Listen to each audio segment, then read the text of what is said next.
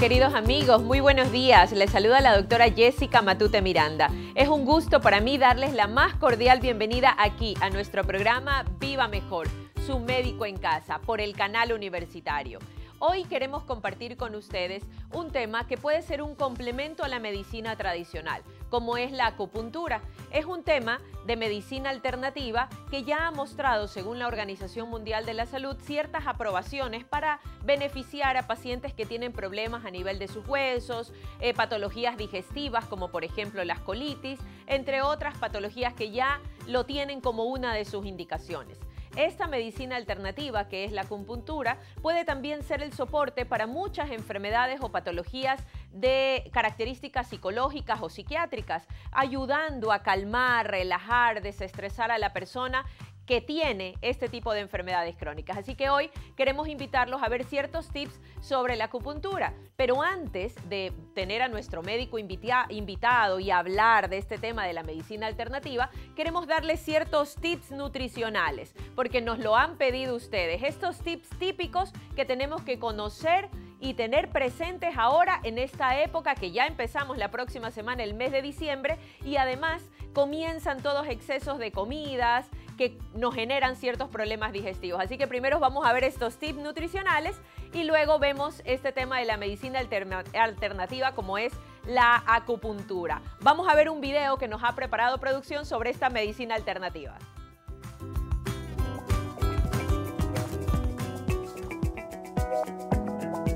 La acupuntura es una terapia milenaria originaria de China. Consiste en la aplicación de agujas en puntos específicos del cuerpo para tratar enfermedades y para promover la salud. Estas agujas, cuando se aplican sobre algunas regiones específicas, son capaces de tratar diversas enfermedades físicas o emocionales, como por ejemplo la sinusitis, el asma, la migraña o la artritis. Además, mejora el sistema inmunitario. La colocación de agujas de acupuntura estimula las terminaciones nerviosas existentes en la piel y en otros tejidos, enviando de esta forma mensajes al cerebro, desencadenando diferentes efectos en el cuerpo, como acción analgésica o antiinflamatoria.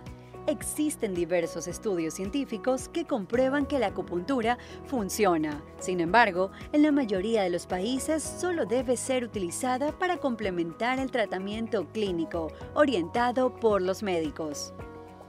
La acupuntura puede ser utilizada también en el tratamiento de enfermedades y trastornos emocionales, como la ansiedad, el exceso de estrés o depresión. Cualquier persona se puede realizar acupuntura, así no existe alguna enfermedad o queja física. Esta técnica puede inclusive realizarse en niños, siendo recomendado en estos casos la utilización del láser en niños que tengan miedo a las agujas.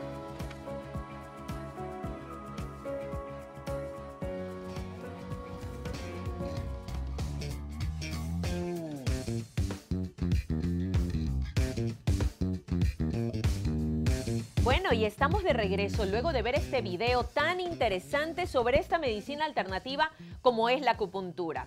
Ya estamos en unos pocos minutos más que llegue nuestro especialista, que él viene pues tratando este tema de la acupuntura tan especial para ustedes. Pero yo sí quisiera darle estos tips, porque nos han consultado qué debo de hacer ahora que empiezan las festividades. Ahora que ya tenemos las novenas, algunos se reúnen con amigos, compañeros del colegio, universidad y comienzan a tener estas reuniones excesos de comidas y bebidas. Y muchas veces esto puede generar problemas de mala digestión. Como ustedes conocen mi especialidad, yo soy médico nutricionista y quisiera darle estos pequeños tips en esta primera parte del programa. Para ello, si ustedes se fijan, pues tengo aquí al lado a nuestro muñeco didáctico en donde puedo mostrarles a breves rasgos cómo se produce el proceso de la digestión de manera normal. Cuando una persona empieza el proceso de la alimentación, lo primero que tenemos es el alimento en la cavidad oral y tenemos los dientes. Los dientes más la saliva ayudan al proceso de la digestión. ¿Por qué? Porque mientras yo más mastique mi alimento, más puedo desdoblar este alimento para que estos nutrientes pequeñitos cuando lleguen al intestino se puedan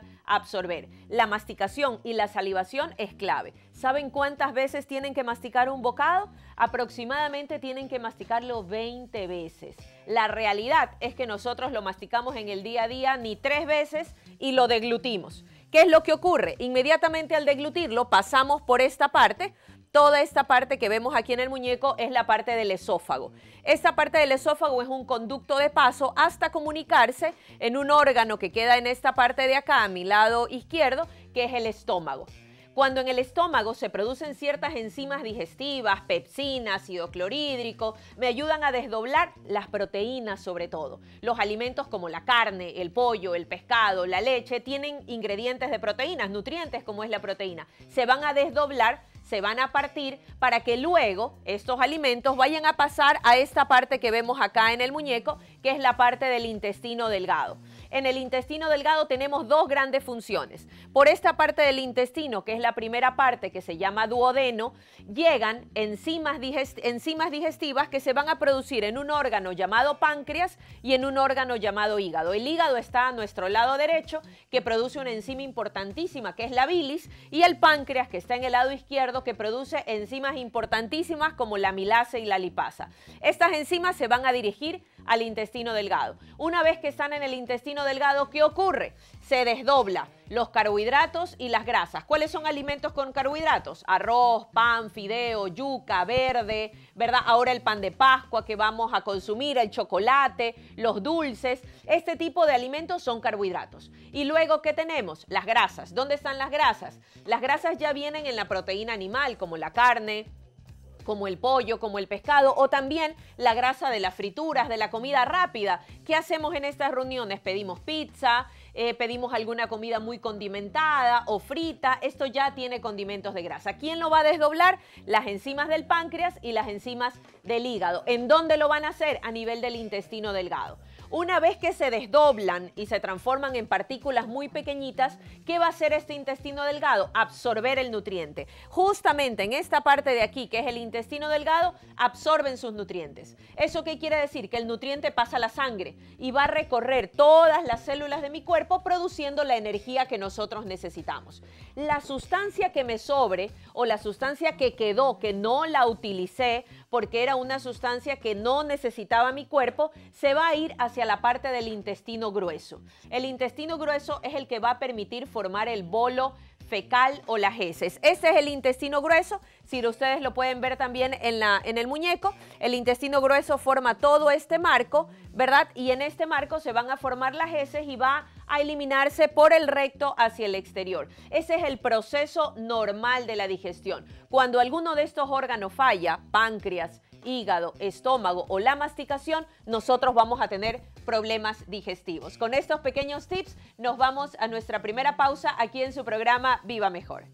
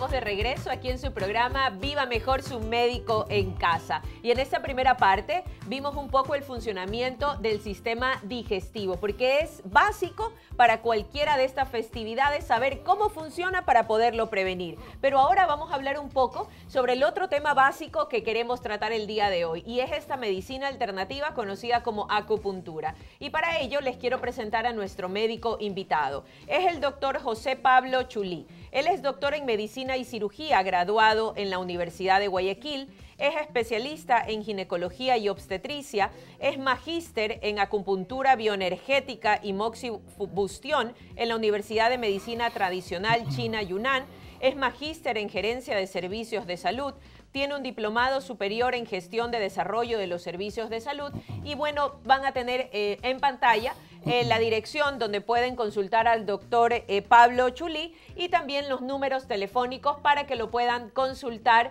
en cualquiera de sus molestias. Doctor José Pablo, qué gusto tenerlo aquí en nuestro programa de Viva Mejor. Buenos días. Buenos días, mi querida doctorita. Igualmente, muchísimas gracias a, todo el público que escucha, ¿no? Este, es un honor para mí estar en este programa. Qué bueno, porque la idea, mi doctor, es tratar de que nuestra comunidad, nuestros amigos televidentes, nos siguen mucho por redes sociales también, ellos puedan informarse sobre esta medicina que es la acupuntura.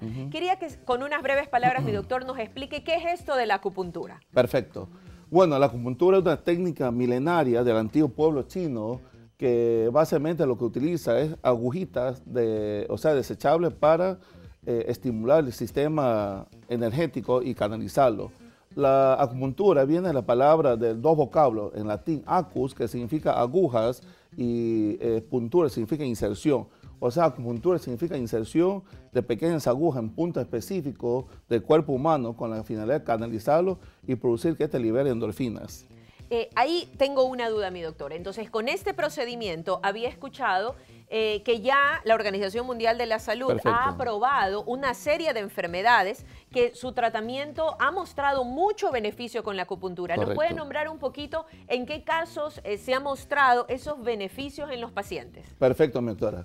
Bueno, la acupuntura básicamente ayuda en cerca de más de 45 enfermedades, entre, entre las cuales está, por ejemplo, lo que son los procesos dolorosos.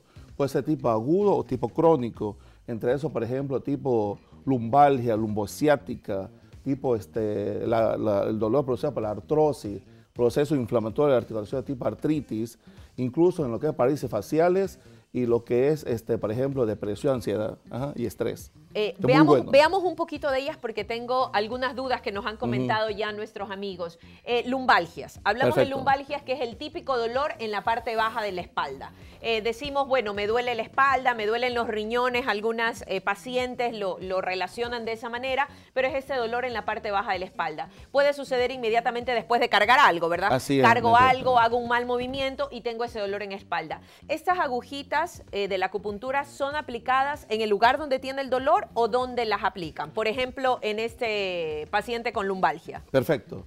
Este, la acupuntura, antes que todo, o sea, tiene que ser practicada por una persona que conozca.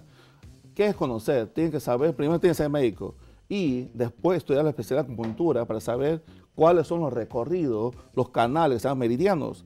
Dentro de meridianos están puntos, o sea, los puntos no necesariamente tienen que ser locales, pueden estar a distancia, pero igual te actúa a nivel la parte dolorosa.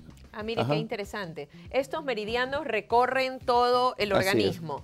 Es. como el sistema linfático, sistema sanguíneo, parecido, de esa manera. Parecido. Por ejemplo, en la parte de la medicina china se habla totalmente de los meridianos, los cuales son 12, son 14, o sea, 12 bilaterales y, uno, uno está entre y uno posterior, en los cuales cada uno tiene sus puntos, se conecta a los puntos a nivel todo, de todo el cuerpo y produce esas señales. ¿eh? Claro, y esta, eh, usted dijo en el concepto de acupuntura que en el momento de hacer estas punciones, de estas presiones, se liberan endorfinas. Eh, ¿Podría explicarles un poquito qué características tendrían estas endorfinas? Porque sería muy interesante que nuestros amigos televidentes comprendan qué es lo que se va a producir en el cuerpo. Es bien interesante. Correcto, correcto. Sí, con la inserción de estas pequeñas agujas muy finas, aquí es más claro, incluso traje un este, ejemplo, ¿no? Aquí está. Si las podemos eh, tal vez un solo uso.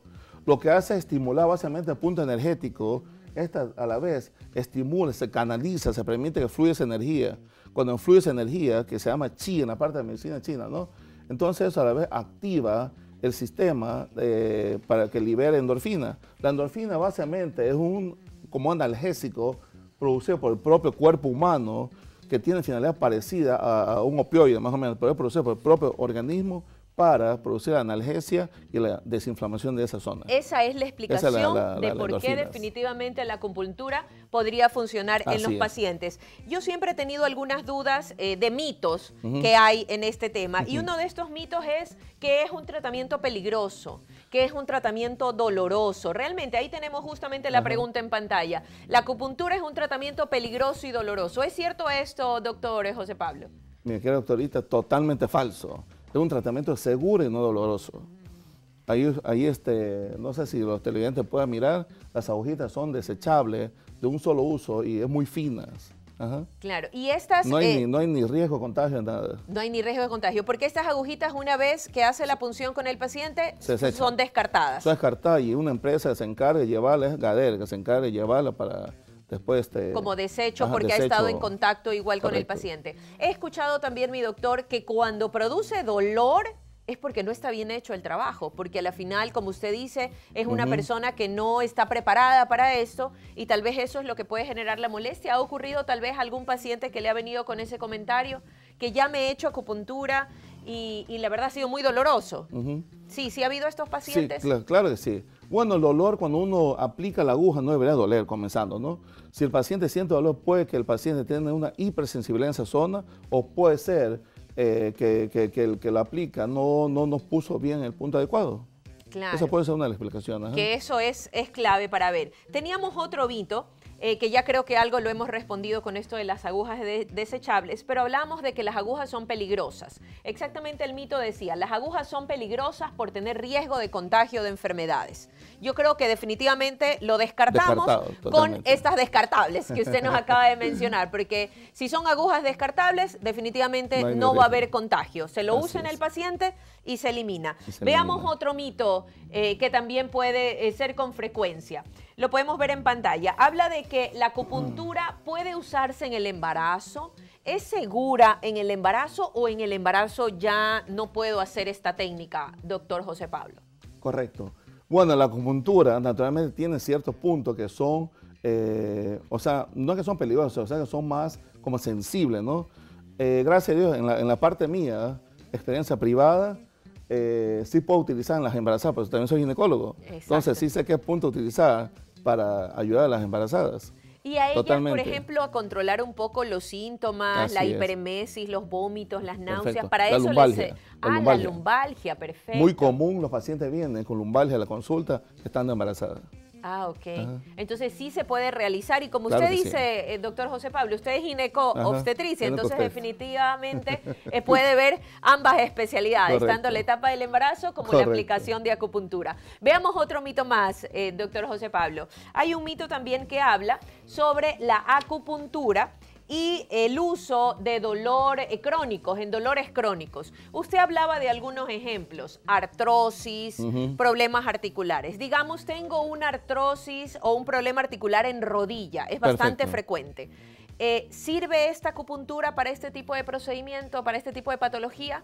Totalmente de acuerdo, doctora.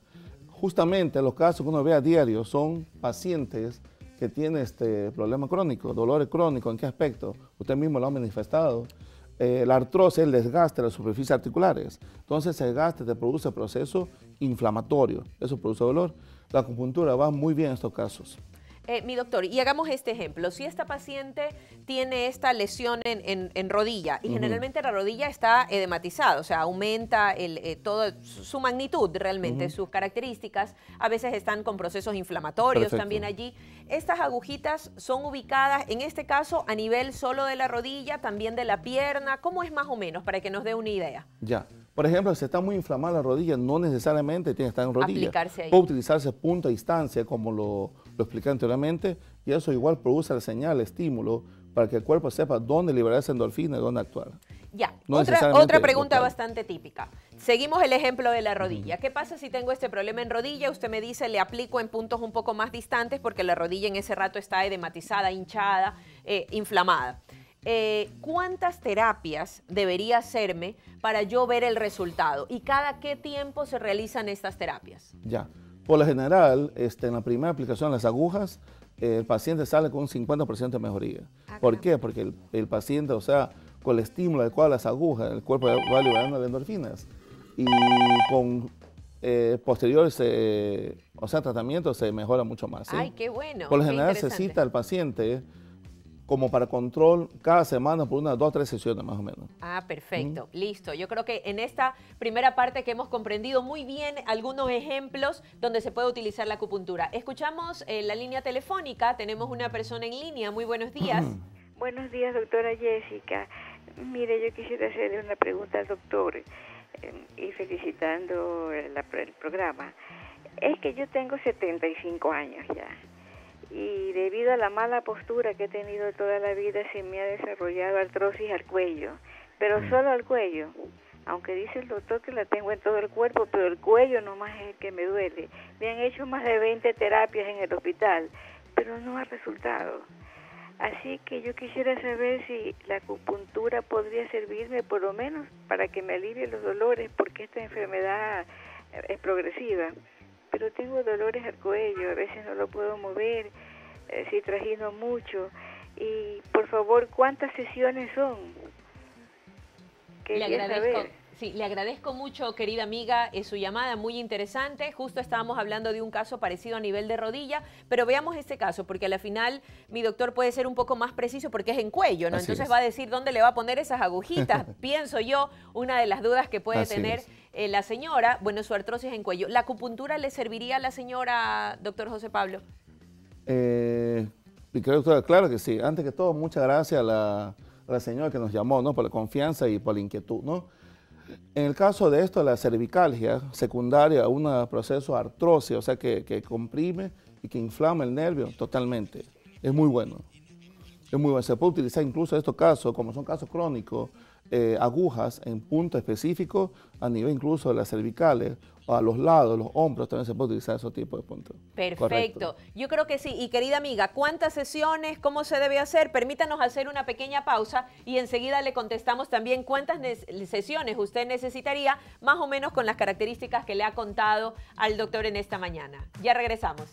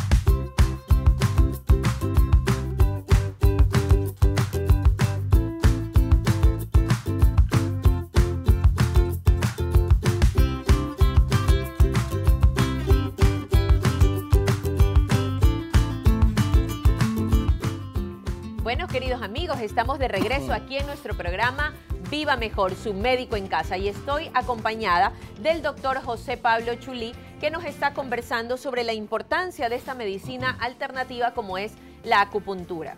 Eh, antes del cierre de este corte, estuvimos conversando pues con nuestra querida amiga de 75 años de edad, que ella nos comentaba sobre la cervicalgia, sobre este problema de dolor en el cuello por artrosis. El doctor le recomendaba que definitivamente la acupuntura puede ser una alternativa muy buena en su caso para aliviar el dolor y la molestia que tiene. Pero nos faltó algo, el eh, doctor José Pablo, en contestarle y es eh, cada cuánto debería hacerse una sesión y tal vez por cuánto tiempo para que ella tenga una idea cómo se maneja este procedimiento. Perfecto, mi querida doctora Jessica. Eh, por lo general, estos casos eh, son casos crónicos, ¿no? Se, se, recomendaría utilizar una sesión por semanas. Incluso si la paciente va mejorando muy rápido, se recomendaría cada 15 días, no pasa nada. Ah, perfecto. Mire qué alternativa. O sea, todo depende, de cómo, vaya, evolucionando la paciente. Veamos un poquito quiénes son los candidatos, doctor. Ejemplo, los candidatos pueden ser, bueno, antes de hacerle esta pregunta, quisiera invitar a todos nuestros amigos televidentes que quieran hacerle una consulta al doctor José Pablo. Ustedes lo pueden hacer aquí directamente en el programa al número 222-1618. 222-1618. Anteponer el 04 si está fuera de la provincia del Guaya. O nos puede escribir por nuestras redes sociales. Viva Mejor TV, en cualquiera de las redes sociales también puede enviar su consulta que con gusto las vamos a contestar. Doctor José Pablo, estamos conversando quiénes serían los candidatos para realizar acupuntura. Ejemplo, niños, personas muy mayores, ya embarazadas dijimos que sí se podía. Eh, denos por unas, unos datos de cuáles serían estos candidatos. Básicamente los candidatos serían todas las personas, desde niños que te aceptan el tratamiento hasta personas mayores siempre y cuando la, persona esté dispuesta para que le proceda con, con Y, las y agujas. en su consulta, niños, ¿desde qué edad ha podido atender, doctor? Uno de los pacientes que siempre me acuerdo es este, un chiquito de 4 o 5 años, exactamente, que es hijo de una colega. ¿Y el niño padecía algún trastorno? Dolor a nivel codo. Ah, lesiones- dolor a nivel del codo. Ah, mire, qué interesante. Hay algunos niños que en el proceso de crecimiento comienzan con dolores Así a es. niveles óseos y no hay cómo aliviarles. Entonces podría ser una alternativa Perfecto. la acupuntura para ello. Y en el caso de personas mayores, ¿cuál ha sido la persona con más edad que usted haya realizado el tratamiento de la acupuntura, doctor? Ya. De los registros, personas que, que ha atendido, el más mayorcito de 95, 96 años. Ah, mire, qué interesante. O sea, realmente no, habría problema. ¿Qué pasa si este paciente es hipertenso, diabético, tiene problemas, o sea, está realizando diálisis tal vez? ¿Se podría hacer la acupuntura también o no se podría en ciertas enfermedades específicas? No, la acupuntura es totalmente inocua, se puede utilizar en todo tipo de pacientes. Generalmente lo que yo atiendo en la consulta son pacientes que vienen ad- adoloridos y tienen múltiples enfermedades y se los puede hacer, no hay problema. Ah, perfecto. Porque o sea, sí básicamente se lo no puede- afecta en nada. Claro, sí se lo puede realizar. eh, Totalmente. y una terapia, para tener una visión general, eh, una terapia, viene el paciente, eh, comienza con la terapia de, de las agujas. ¿Cuánto tiempo generalmente dura un procedimiento? Me refiero, el paciente viene hasta que sale de su consulta, Perfecto. ¿cuánto tiempo más o menos? Y si tiene que ir preparado, qué sé yo, en ayunas o sin hacer actividad, con hacer actividad. ¿Hay alguna recomendación previa a hacerse este tratamiento de acupuntura? Bueno, naturalmente el paciente eh, no necesita ningún este, tratamiento anterior antes de llegar a la consulta, ¿no? Como todo paciente entra a la consulta, se le hace una historia clínica, se realiza la inspección eh, física general, de ahí este, se procede el tratamiento, juntos se puede utilizar también los electrodos, que nos ayudan en muchos puntos en los cuales las agujas eh, son más sensibles a llegar. Eh, mi doctor, qué interesante esto porque entonces la persona llega a una consulta como que fuera una consulta Normal, médica de cualquier otra especialidad, le hacen su historia clínica y dependiendo la molestia que tiene, pues usted como especialista decide ya introducir electrodos o eh, ya hacer la terapia acupuntura o ambas, ¿verdad? Ajá, y más o menos el tiempo que demora todo este procedimiento será una hora, ¿no? Menos. En Ah, la primera consulta, por lo general, dura una hora por la historia clínica. En la segunda consulta, como ya, conocemos al paciente, es preciso. 25 minutos a, media hora más o menos. Ah, mire, qué dura interesante. O sea, va a su sesión, se realiza. Hablemos un poquito, mi doctor, sobre estos electrodos. Eh, ¿Qué hacen exactamente los electrodos en, el paciente, para tener una idea? Perfecto. Bueno, los lo, lo electrodos, llamados también como TENS, son máquinas que emiten este, impulsos. Esos impulsos actúan estimulando el punto energético y a la vez igual ayuda que libere la endorfina, como que fuera agujas puestas, pero en forma superficial con la electricidad.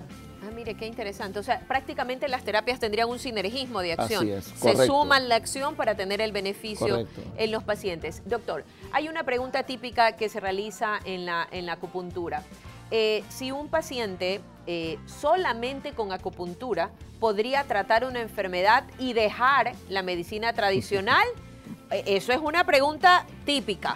Yo estoy haciendo acupuntura, entonces ya no tomo mi medicina para la diabetes o para la presión o para el dolor de huesos, ya no porque estoy haciendo la medicina alternativa. Tengo que realizársela, doctor José Pablo. ¿Qué le puede decir a estos pacientes? No, sí. Este, los pacientes, por lo general, mi querida doctora Jessica, como usted decía, ¿no? Llega con múltiples enfermedades. Entonces, en el caso mío, lo que yo hago es la parte mía, que es la acupuntura, ayudarle a que esos dolores se alivie. Pero el paciente no puede dejar de tomar su antihipertensivo, su antidiabético oral, tampoco no puede dejar de ponerse su insulina. O sea, acupuntura básicamente es un tratamiento opcional o adicional para ayudarle al proceso del dolor.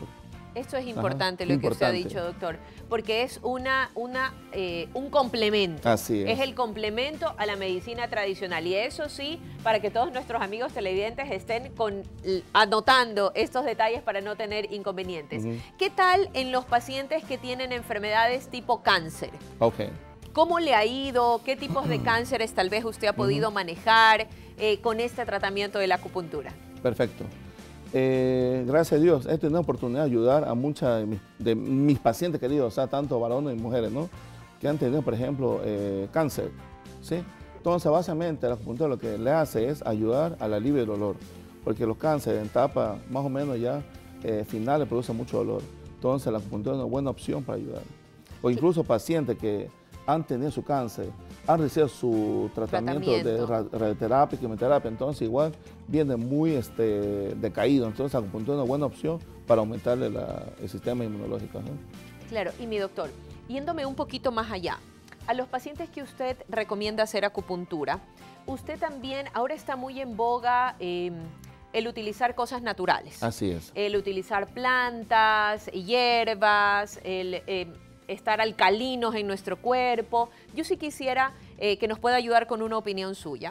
A un paciente que usted trata, con ya con sus, obviamente con su medicina tradicional, sus medicamentos, trata con su tratamiento alternativo que es la acupuntura.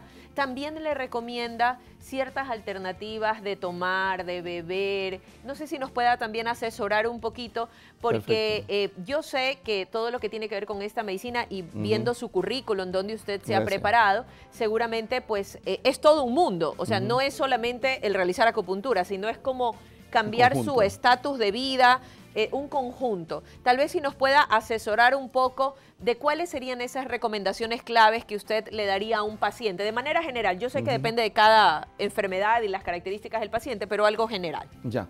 Naturalmente, eh, los pacientes que tienen múltiples enfermedades por lo general viven muy estresados. O sea, tienen muchos problemas, mucha preocupación, ¿no? Y también el sistema inmunológico está muy afectado. Entre las recomendaciones, por ejemplo, en la parte natural, sería muy bueno tomar bastante jugos naturales. En este caso, uno de los jugos que sería muy bueno sería la combinación entre lo que es aloe vera más dulcamara.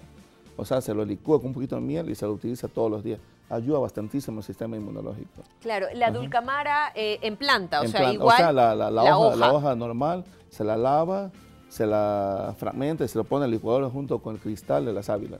Se licúa con un poquito de endulzante y se toma todo el día es un antioxidante súper bueno. Mire, qué interesante, qué interesante alternativa que nos acaba de dar el doctor José Pablo. La sábila, que es lo, típico que tenemos en nuestras plantitas, creo que en todo hogar hay esta plantita, más el adulcamara. ¿La adulcamara es de fácil siembra, doctor? Eh, ¿Lo podemos tener tal vez una matita? Sí, Mire, qué interesante. Una de estas hojitas lo endulzamos con... ¡Ay, crece, rápido. Mire, qué interesante. Lo podemos cosechar todo, le una hoja grande y crece rápido. Ah, qué bueno. Mire, ahora que estamos en boga de todo lo que es el cultivo en casa, pues con un poco de miel de abeja, todos los días se puede consumir Todos los días. en ayunas, tal vez, en ayunas o no pasa mm, nada si lo Puede ser durante eh, el desayuno, incluso puede tomarlo como jugo natural todo el día. Ah, mire, qué interesante. Bueno, con esta pequeña recomendación muy importante como complemento de la acupuntura, nos vamos a nuestra pausa y enseguida regresamos con la última parte del programa.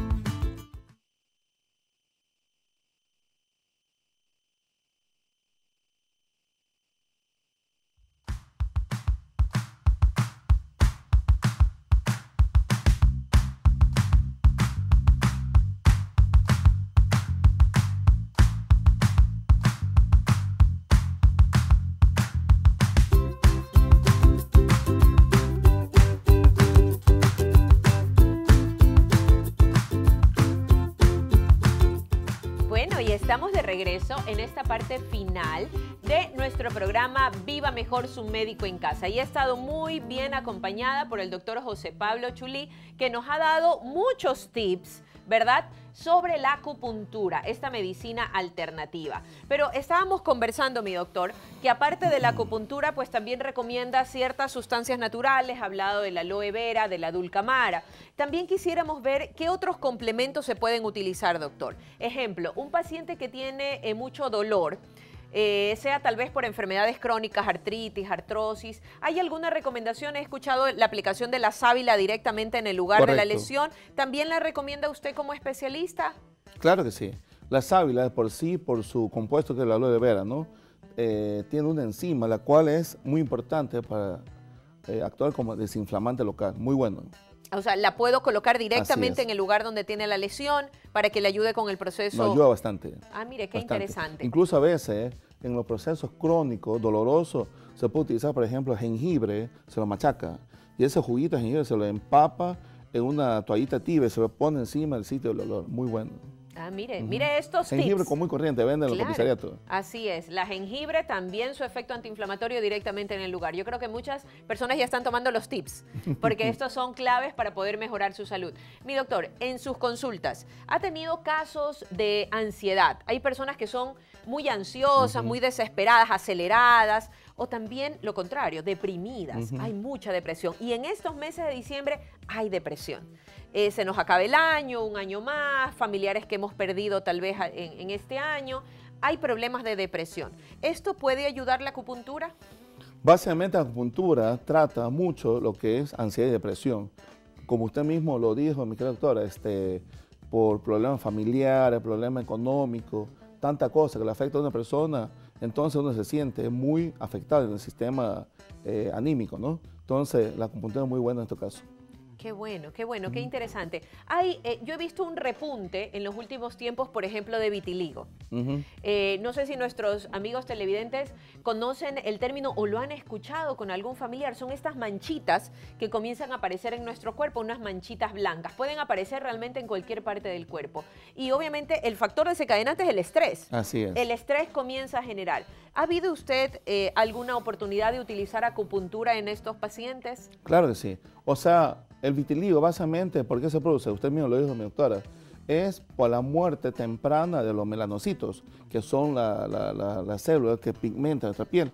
Entonces, por ejemplo, pacientes que ya tienen vitiligo, ya a, flor de piel se puede decir, ya no se puede hacer mayor cosa, pero se puede utilizar acupuntura para que no siga avanzando el proceso. Ah, es como para detenerlo, como para que no siga avanzando, porque estas manchitas comienzan a recorrer todo el cuerpo. Entonces, una manera de detenerlo, la acupuntura puede ser una alternativa. Mire qué interesante. Yo sí quisiera pedirle unas recomendaciones, doctor José Pablo. Yo comencé el programa hablando del proceso de la digestión, porque se nos vienen las navidades, las festividades. ¿Qué recomendaciones daría usted en esta época donde estamos buscando dinero como desesperados, tenemos que pagar muchas deudas, muy probablemente hay que dar regalos, la gente está económicamente apretada, estresada, se nos acaba el año, hay que cerrar año en la parte laboral, los hijos están, ya mismo empiezan lecciones y exámenes la próxima semana, o sea, hay una serie de cargas y una serie de compromisos que se cumplen y definitivamente nos estresa. ¿Qué recomendaciones nos podría dar a usted para este tipo eh, de casos? Pero antes de las recomendaciones, creo que vamos a contestar la llamada para no dejar en espera en mucho tiempo. Muy buenos días. Buenos días, doctora. Disculpe que vuelva a molestar. Yo llamé hace un rato. Ah, ya, muy amable, señora. Sí, es que yo quiero saber el nombre y el número de teléfono del doctor. Perfecto, perfecto. Si no lo pusieron ya, no me di cuenta, ¿no? Ya. Muchas gracias. ¿eh? Listo, le agradezco mucho, mi querida amiga, mi doctor. Aprovechemos la oportunidad para darle los datos a la señora y los pueda apuntar. Perfecto. Bueno, mi nombre es este, José Pablo Chulí. Eh, trabajamos en la ciudad de La Garzota, etapa 2, Manzana 64, Villa número 29. Con mucho gusto la atendemos, todas las personas que tienen necesidad de acupuntura. ¿no? Sí, ¿cuál es el número telefónico que podrían llamar a sacar una cita? Sería el 099-471-5536. ¿Lo podríamos repetir, doctor? 099-471-5536. Perfecto, mi doctor. Entonces ya con previa cita usted lo agenda y el doctor con mucho gusto lo puede ayudar. Ahora sí, mi doctor, vamos con las recomendaciones. ¿Qué daríamos a estas personas en este tiempo de Navidades, de festividades que pasamos mucho tiempo estresados y preocupados? Ya. Básicamente, para que una persona goce buena salud, son tres cosas. Primero, tiene que dormir bien, comer adecuadamente, no cualquier cosa, sino saber comer, balancear comer lo que es fruta, vegetales y comer sana y hacer ejercicio las tres puntos claves. y yo ahí le puedo sugerir algo, mi doctor, para complementarle a la parte de alimentación. Justo mi especialidad es de nutrición y por eso comenzamos hablando del tema digestivo. Eh, esto de balancear la comida viene en las novenas o viene en las prácticas de los chocolates, el pan de Pascua y todo este problema, ¿no? Entonces yo siempre le digo al paciente, hágalo un día y el otro día como que desintoxique su cuerpo comiendo muchas frutas y vegetales, porque las frutas y vegetales son las fuentes de antioxidantes de nuestro cuerpo. Y realmente lo que nos recomiendan es comer tres porciones al día, es decir, como tres frutas al día y tres ensaladas que ocupen una mano, o sea, dos manos juntas. Tres de estas al día. ¿Cuántas comemos? ¿Cuántas comemos en la realidad? A veces no comemos ni una fruta al día o ni una porción de ensaladas al día. Entonces, esto es importantísimo como para ayudar a liberar esas toxinas que vamos acumulando en el día a día. Doctor, de acuerdo desde el punto de vista en la especialidad que usted tiene, el ejercicio, ¿cómo podría ayudarle al organismo? El ejercicio lo que ayudaría es principalmente eh, tipo, por ejemplo, ejercicio aeróbico, no oxigena y aparte de eso, al moverse, el cuerpo también mueve su energía. En la parte de la medicina tradicional china, mueve su energía interna, que es el chi. Claro, en esto de la acupuntura tiene que ver mucho las energías. Totalmente. Sí, o sea, nosotros tenemos energías, eh, diferentes tipos de energía. E, esto de que yo toco a alguien y siento corriente, que muchas personas lo mencionan, ah, yo toqué a una persona, uy, estoy eléctrica o él está eléctrico. ¿Eso cómo lo podemos explicar? Eso básicamente, como todo, como todo ser vivo, este, tenemos este, electricidad. Sé que no siempre se, se, lo siente. Entonces, básicamente, hay personas más sensibles que otras. Pero de que tenemos energía, todo ser vivo lo tenemos.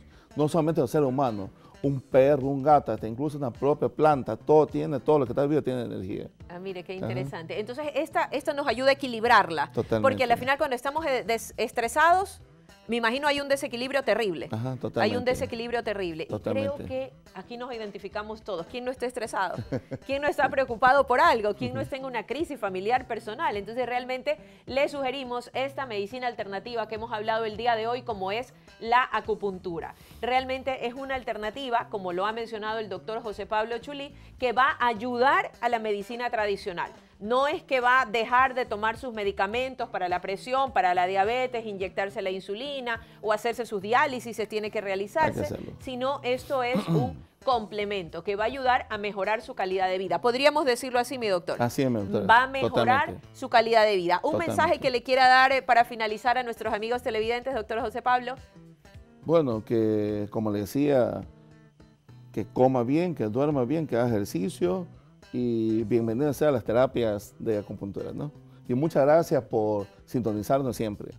Muchísimas gracias, muchísimas gracias doctor José Pablo. Para nosotros ha sido un honor que nos acompañe aquí en el set de Viva Mejor. Esperemos pues en alguna otra ocasión tal vez hacer alguna demostración o algo para que los, nuestros amigos televidentes puedan eh, también interactuar con el especialista aquí en el programa de Viva Mejor. Eh, quisiera nuevamente repetir, el doctor atiende en La Garzota. ¿Por qué parte de La Garzota, doctor? Eh, ¿Hay algo de, referencia? Como cerca, por la calle, las fiestas infantiles. La ah, calle, la calle se llama este, Eloy, Eloy este, Velázquez. Perfecto. sí, sí, por donde hay algunos lugares de fiestas, infantiles. Eso es Garzota 2. Garzota, etapa 2, Manzana 64, Villa número 29. Perfecto, y ahí vemos en pantalla el número telefónico eh, del doctor José Pablo Chulí para que también lo puedan contactar. En nuestras redes sociales también estará pues la publicidad para alguna de las personas que nos han estado preguntando por interno dónde puede atender el doctor. No se olviden que este programa va a tener su reprise el día de hoy a las 7 de la noche. Y recuerde siempre que nuestros programas son de lunes a viernes de 9 de la mañana a 10 de la mañana. Así que los esperamos para seguir hablando de medicina y su prevención. Un gusto poder compartir con todos ustedes. Gracias, doctor José Pablo, por acompañarnos. Que pasen un bendecido fin de semana. Nos vemos. Gracias a ustedes. Muchas gracias. Chao.